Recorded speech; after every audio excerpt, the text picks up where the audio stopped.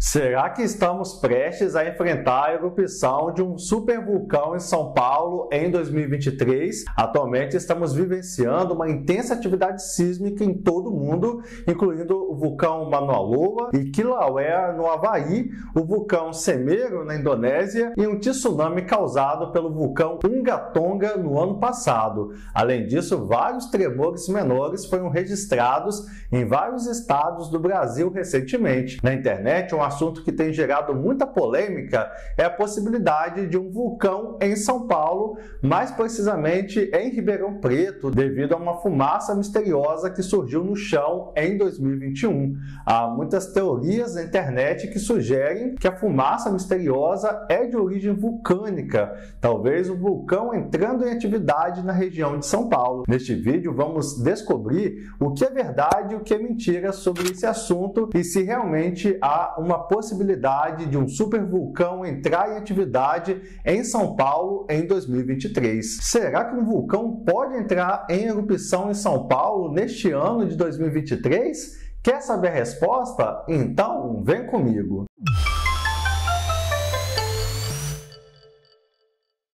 Seja bem-vindo ao canal Tudo sobre Geografia. Eu sou o professor Bruno Barros e aqui nós fazemos vídeos sobre astronomia, fenômenos da natureza e aulas de geografia. Se você tem interesse nesse tipo de assunto, já se inscreve no canal e deixa seu like para fortalecer a nossa comunidade educativa aqui no YouTube.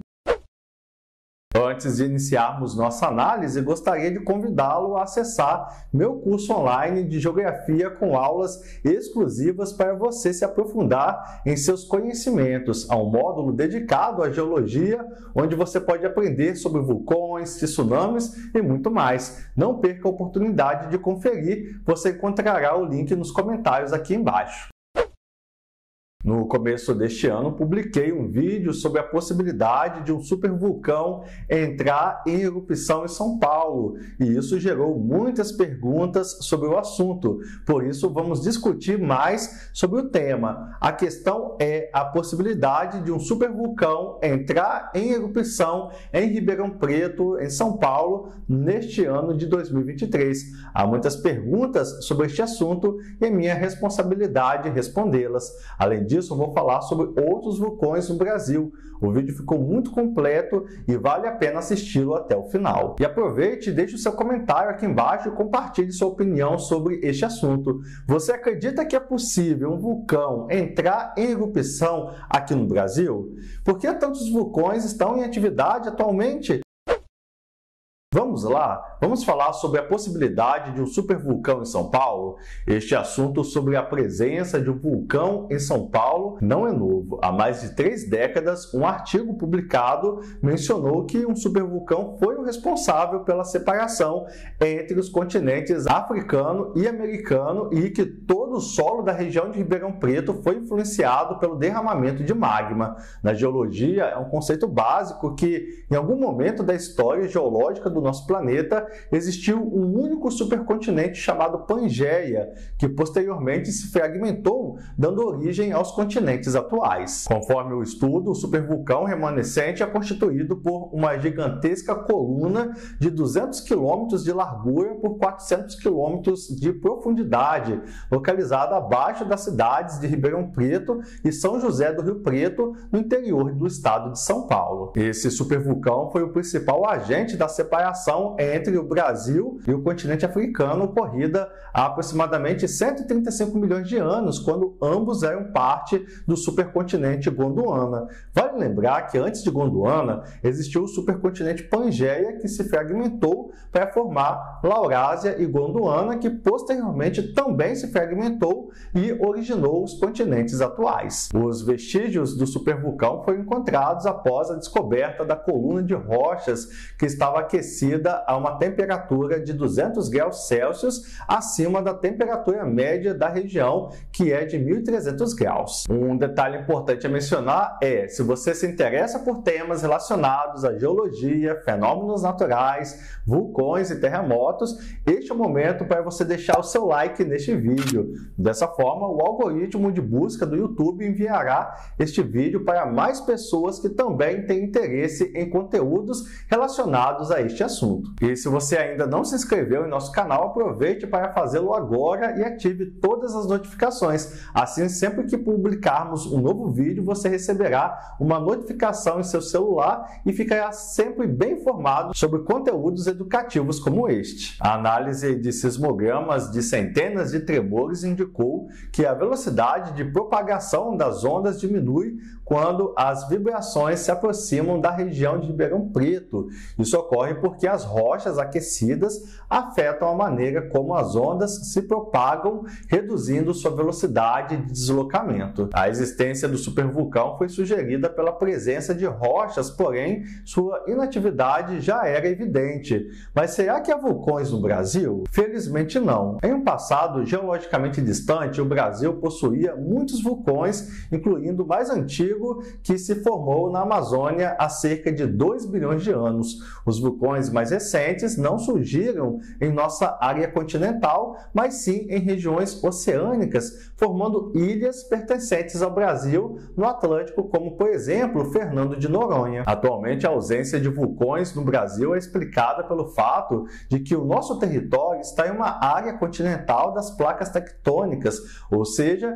ele está longe da zona de encontro entre placas. Além disso, nosso relevo é geologicamente antigo, o que significa que já foi muito erodido pelos agentes climáticos e as crateras vulcânicas já não existem mais. Na era Mesozoica, cerca de 200 milhões de anos atrás, ocorreram erupções vulcânicas nas regiões sul e sudeste do Brasil, formando rochas do tipo basáltico. No entanto, ao longo do tempo, essas rochas foram desgastadas pelos agentes climáticos, resultando em um solo fértil conhecido como terra roxa. Outros sinais de atividade vulcânica no passado do Brasil são observados no continente africano, que antes é conectado ao Brasil, formando um único supercontinente. Muitos dos seguidores aqui do canal fizeram perguntas sobre o suposto vulcão em Santos, em São Paulo. Existem rumores de um vulcão ativo na cidade de Santos, localizada no litoral de São Paulo. Havia suspeitas de um vulcão no bairro Macuco, pois algumas escavações causaram a liberação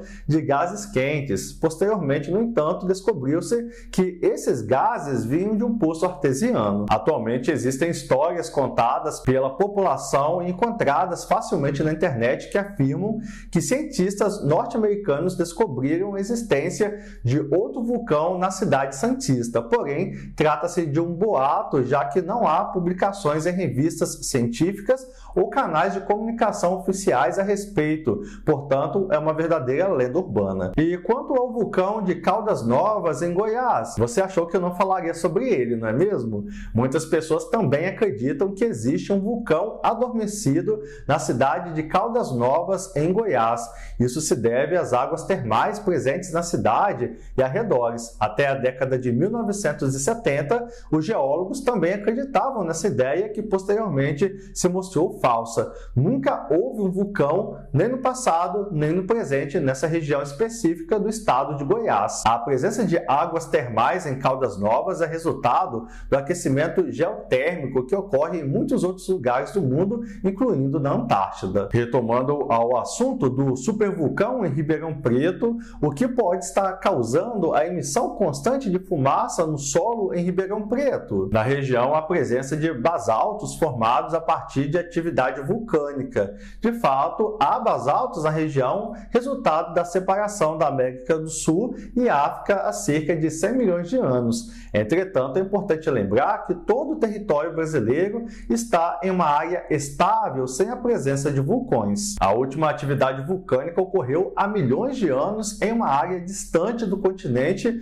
onde atualmente se encontra o arquipélago de Fernando de Noronha, a cerca de 545 quilômetros da costa e a mais de 2 mil quilômetros de Ribeirão Preto. Portanto, uma possibilidade para a emissão de fumaça no solo em Ribeirão Preto pode ser resultado de combustão espontânea devido ao acúmulo visível de matéria orgânica e produção de gases inflamáveis no local. Essa possibilidade foi mencionada em um dos vídeos aqui do canal. No entanto, a CETESB, Companhia Ambiental do Estado de São Paulo, e a Secretaria Municipal do Meio Ambiente confirmaram que se trata de um fenômeno natural conhecido como turfa, um material vegetal parcialmente decomposto encontrado em camadas do solo e altamente inflamável. Embora haja evidências de um vulcão no passado, a ideia de que possa entrar em erupção em 2023 é falsa, não há motivo para preocupação. É provável que tudo isso tenha surgido devido à atividade vulcânica ao redor do mundo,